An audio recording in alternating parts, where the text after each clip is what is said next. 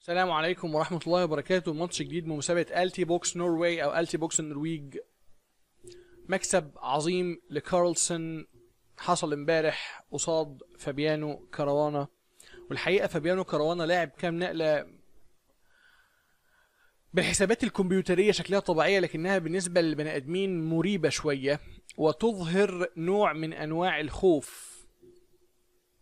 ما تيجوا ما نتكلمش كتير ونتفرج على الماتش.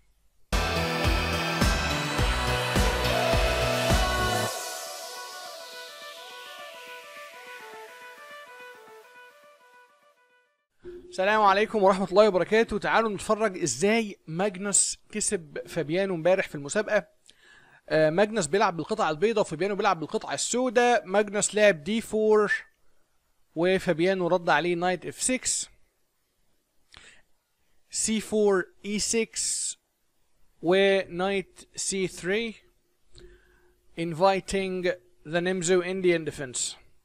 يدعوه إلى أن يلعب ال Nimzo Indian. وما هو ال Nimzo Indian يا شباب؟ إن أنت تطلع بفيلك ده وتربط الحصان.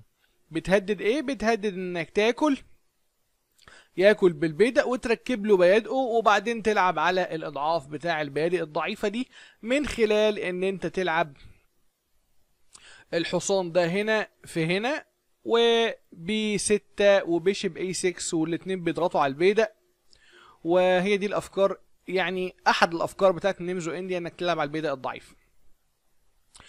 وبناء عليه صاحبنا آه، ماجنس كارلسون قال له queen c 2 علشان لو كلت يا معلم أنا هاكل بالوزير ومفيش إيه تركيب بيادق. قام صاحبنا مبيت وقام قايل له أنت بقى جاي تعمل إيه؟ يا ترى هترجع ويبقى blunder علشان هزق عليك تاني وتمشي أزق عليك تالت وآخد منك حتة؟ ولا هترجع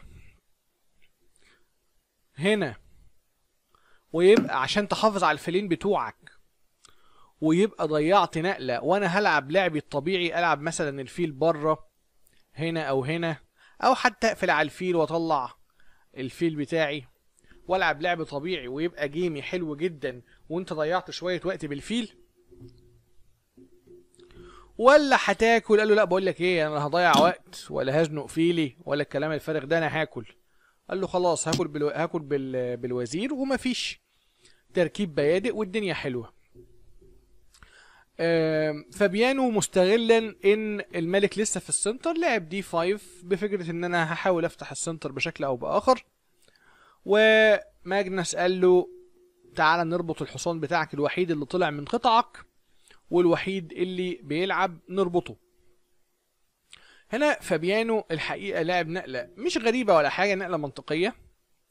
آه، ألا وهي D takes طب هو لو ما كانش لاعب D takes مثلا ولعب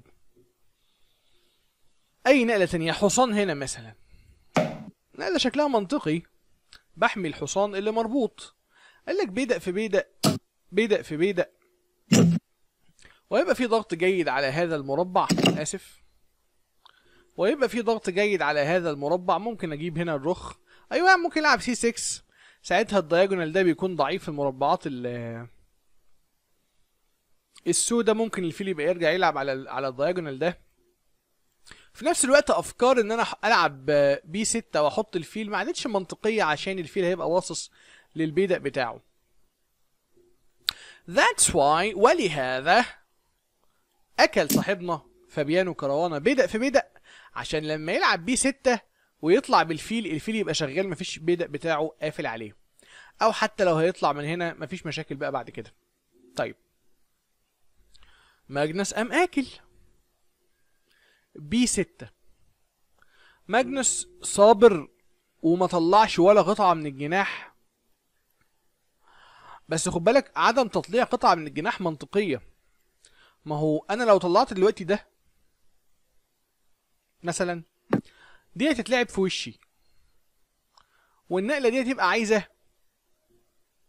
آه إن الوزير يمشي وأكسر ويبقى الوزراء في في في اللعب بس الملك مش مبيت الجيم مش هيبقى لذيذ. في نفس الوقت لو ما لعبش دي ولعب الحصان مثلا هتلاقي إن الفيل بيطلع بسهولة وبيضغط على الحصان. لو لعبت بعد كده الزقة دي ممكن آكل فيه الحصان و- و- وأركب البيادق يعني ممكن كذا حاجة تحصل مش طبيعية. عشان كده آه ماجنس قال لك أما ألعب لعبة منطقية هو دلوقتي قر- قريب هيضرب ال center بال C 5 أما أجيب الرخ في وشه علشان لو لعب C 5 اكل بيدق في بيدق وعايز الوزير. فجاب الرخ فعلا في وشه. ماجنس آه وفابيانو قام قال له لو سمحت هات وزيرك. الوزير قام رايح هنا. نقلة قوية طبعا علشان بتقلل فرص إن إن الأسود يطلع. ما هو لو طلع كده ال- ال- الفيل هيقع. وهنا الأسود لعب H 6 هات الفيل بتاعك. الفيل رجع. و فابيانو قال له لو سمحت تعالى نكسر وزراء بفكرة إن أنت لو كلت أنا هاكل. وهبقى حميت الحصانة والفيل مع لو أكل أرجع أكل بالحصان وبادئ ما تتكسرش. طيب. ماجنس قال له لا أنا مش هكسر. والنقلة الغريبة اللي أنا معترض شوية عليها يعني من أنا لاعترض ولكن يعني عندي وجهة نظر إن كوين سي 6 اللي اتلعبت في الجيم كان فيها نوع من أنواع الخوف شوية أو عايز يكسر معاه بأي شكل وأي طريقة. حتى لو على حساب إن هم يخشوا اند جيم وبعد كده في الفحصان ياكل والبادئ على جناح الملك تخش بيها اند جيم مش أفضل حاجة. كان الأحسن من كوين سي 7 جي 5 ولما الفيل يرجع ممكن ساعتها أطلب تكسير وزراء. آه، أكل أكل البدع ده مفيش منه خوف عشان الركاخ بتيجي والوضع بتاعك بيكون كويس. ولو ما خدش البيدع على طول مثلا ولعب لقلة عبيطة زي مثلا يجيب الرخ هنا يقول له هات الحصان. بتسيب البيدع دوت الحصان لو اتاكل الحصان بيخش هات ال- الرخ بتاعتك الرخ بترجع. انت رجعت بيدق آه، ال C قصاد بيدق ال D والقطع بتاعتك كلها قوية والمنظر ده شكله مش كويس خالص. طيب. ولكن queen C 6 على طول اتلعبت وماجنس هنا قال يا سلام وزير في وزير ياكل بالحصان وأقوم كسر حصان في فيل ياكل وأخش endgame وضعي مش وحش خالص من ناحية البيادق E 3 فيل في فيل أكل بالملك ولعب الحصان بفكرة إنه عايز يدخل على ال- البيدق ده. وعلى فكرة لو كان لعب أي حاجة تانية كانت رخ C 8 هنا بقى تبقى جامدة. علشان هيبقى عايز الحصان اللي هنا والحصان لازم يمشي وفي الآخر تاكل البيدق فهي نقلة قوية آه لكن في نفس الوقت شبه إجبارية إنك لازم تلعبها. حصان طلع والحصان دخل يطلب البيدق والبيدق اتحمى وضربنا ال center. معلومة مه- مهمة للمبتدئين أمثالي طبعا.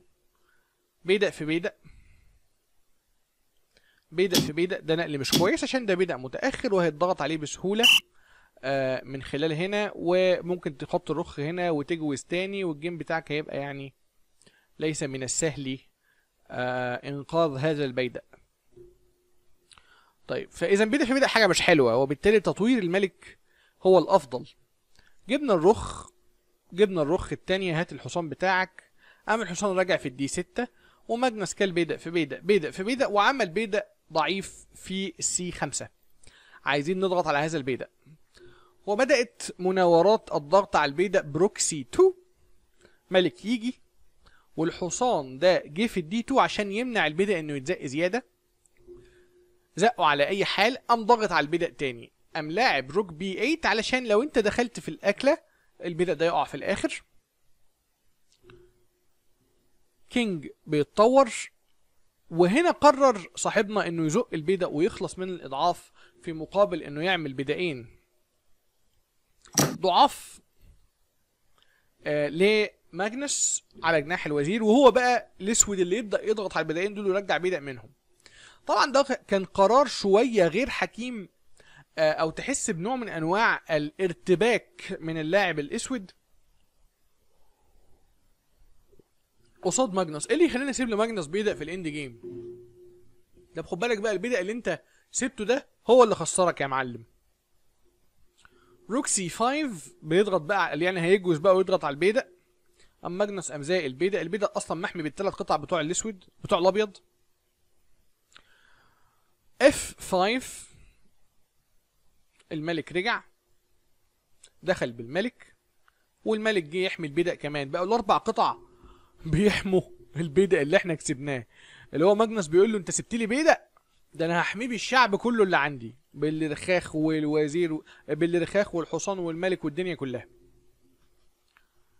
ملك يجي رخ ثلاثة رخ ثلاثة دي نقلة علشان آه ممكن يكون عايز يحرك الحصان بتاعه في نفس الوقت مش عايز الرخ دي تنزل في ثلاثة في b ثلاثة rook c6 دي النقلة اللي اتلعبت في ال game ودي النقلة اللي فعلا إدت تفوق للأبيض. كان يفضل إن طالما أنت سبت بيدق وبتلعب عليه أول قاعدة من قواعد اللعب على الإضعاف هو. تثبيت الإضعاف أو حاجة بنسميها fixing the weakness أثبت الإضعاف الأول بعد كده ألعب عليه آه لو حتى ما كانش عمل أي حاجة في الموقف ده آه زيادة كان أحسن لو أنت خدت بالك الحصان ده مثلا لو كان جوز على ال لو كان جوز على ال- البيادق دي نقله مش وحشة لو كان لعب e5 بفكرة إنه بياخد مساحة في ال center نقلة مش وحشة لو كان لعب الرخ هنا كان انواع أنه بيعمل إضعاف على جناح الملك وبعدين يرجع تاني حتى هنا أو هنا ده نقل مش وحش. لكن النقل اللي اتلعب في ال game وهو ان أنا أمشي بالرخ عشان الرخ يا عيني فعلا ما بتلعبش برضه. أمشي بالرخ في سي 6 سمحت لماجنس إنه يزق الإضعاف اللي عنده وياخد بيه مساحة وبالمساحة دي يقدر يحرك قطعه بشكل أفضل. هات حصانك الحصان رجع. وطورنا حصاننا. بيلعب rook e6 علشان الرخ دي لو اتحركت ناكل البيدق دوت. آه، بكش. دخل بالحصان بكش الحصان مشي. ورجع بالملك. الرجعة دي جميلة قوي على فكرة. الكمبيوتر مدي king e2 best move لكن آه، رجعة البيدق دي نقلة منطقية ونقلة إنسانية. بني آدم اللي بيلعب النقل. عشان مش من المنطق إن أنا أحط الملك ما بين الرخين وأقسمهم كده وأنا أصلا حاططهم عشان يحموا البيدق. وفي نفس الوقت الفكرة بتاعت ال king e2 دي فكرة جميلة إن الحصان ده بيرجع في نقل في نقلة من النقلات يحمي البيدق بتاعي. فنقلة جميلة جدا king e2 حصان طلع rook c2 عشان مش عايزين كشات لو سمحت آه، من آه، آه، ال second rank أو من الصف الثاني حصان دخل يطلب للأسف الحص... ال- ال- الطابية دي ما بتروحش في أي حتة غير هنا. لو راحت هنا هتتاكل لو طلعت فوق البيدق بيتاكل ده فما فيش غير إن هو يجي هنا أهو. وقام صاحبنا اللي بالاسود لاعب rook c8 ماجنس قال له انت سبت لي ال file؟ شكرا. أنا هرجع آخد ال file. لعب rook c2 يمنع الكشات. rook c4 نقلة قوية جدا علشان مش عايزة الرخ تيجي هنا وتحاول تلعب بأي شكل من الأشكال على على الصف الرابع. وفي نفس الوقت الرخ لو جت هنا بتدعم أفكار إن أنا أزق البيدق ده وأخلص من الإضعاف اللي هو تركيب البيادق. بحاول إن أنا أفك البيادق بتاعتي في بيدق من دول. فروكسي 4 نقلة جميلة. ضغط على البيدق. الحصان اهو اللي بنتكلم عليه قام راجع حامي مين؟ البيدق. وهنا فابيانو كروانا اختار نقلة برضو مش عجباني. أعتقد إن ده خوف فعلا من بطل العالم. آه لعب معاه ماتشات تقيلة وحاسس إن هو كعبه عالي عليه فبيلعب نقلات غير دقيقة أو خوف منه أنا مش عارف. لكن النقلة اللي اتلعبت دلوقتي نقلة مش مرشحة خالص على ال على ال engines أنا مش بتكلم على الرأي الشخصي أنا برضو يعني أنا أنا لا GM ولا IM لكن في الآخر وفي الأول إحنا بنشوف النقلات المنطقية وبنتكلم عنها. النقلة اللي اتلعبت في ال game e5 بفكرة إنه عايز يزق على الحصان والحصان يمشي ياخد البيدق ده. لكن في نفس الوقت هو عرض مبادلة ما بين البيدق ده إنه يتاخد دلوقتي وإن ده يتاخد. بس الشكل ده أحسن بكتير جدا للابيض بيدقك بعد الاي 5 دلوقتي اللي ببلاش ده اتفرقت بقوا ثلاث بيادق وحشين جدا. والبيادق بتاعت الأبيض ما شاء الله كده سلسلة جميلة ومحترمة. وماجنس ما كدبش خبر يعني حصان في بيدق أكل تكسير وقام مدي كش مشي وقام لطش له بيدق في السكة كمان. فال game بقى وحش قوي بالنسبة للأسود.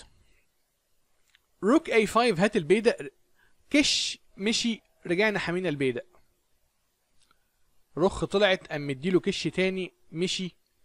وقام لاعب knight e5 بيرجع الحصان بتاعه في منطقة أكثر نشاطا. اتش 5 ملك. اتش 4 كش. وملك دخل يحمي الرخ وبعد الرخ اللي اتلعبت دي ماجنس لعب نقلة والأسود سلم. knight f4 يا ترى إيه حلاوة النقلة دي؟ يعني النقلة دي حلوة في إيه؟ قال لك والله النقلة دي آه بتدي نوع من أنواع التكسير الإجباري. قعدت أفكر كده قلت لو أكل أكل دخل كده. وضغط على البيدق. بدأ يتزق بدأ في بيدق بدأ في بيدق وبعدين يطلب. آه ممكن يبقى فيه لعب. لكن في نقلة أبسط من كده بكتير بتخلي بيدقك زي ما هي وزي الفل ألا وهي الكش دي. ملك يروح في أي حتة تاكل وسلسلة بيدقك ممتازة. أربع بيادق على اتنين. بيدق بيقع بيدق بيقع. وده ويننج إجباري. لو آه ما أكلش حصان في حصان لعب مثلا أي حاجة تانية. لا أي حاجة تانية يلعبها هتلعب أنت حصان في حصان وب... يعني أي لعبة يلعبها يلعب مثلا رخ هنا مثلا. حصان في حصان جامدة. ياكل وممكن تدي كش ترجع كده وتضغط تضغط على البيدق فال game بتاعك هيبقى جميل يعني. okay. فأرجو إن أنتوا تكونوا استفدتوا حاجة من ال game دوت والملاحظات اللي إحنا قلناها. أرجوك أعمل لايك للفيديو عشان يوصل لناس كتير. اشترك في القناة لو لسه ما اشتركتش. وأشوفكم إن شاء الله في جيم جديد من هذه المسابقة أو مسابقات أخرى. والسلام عليكم ورحمة الله وبركاته.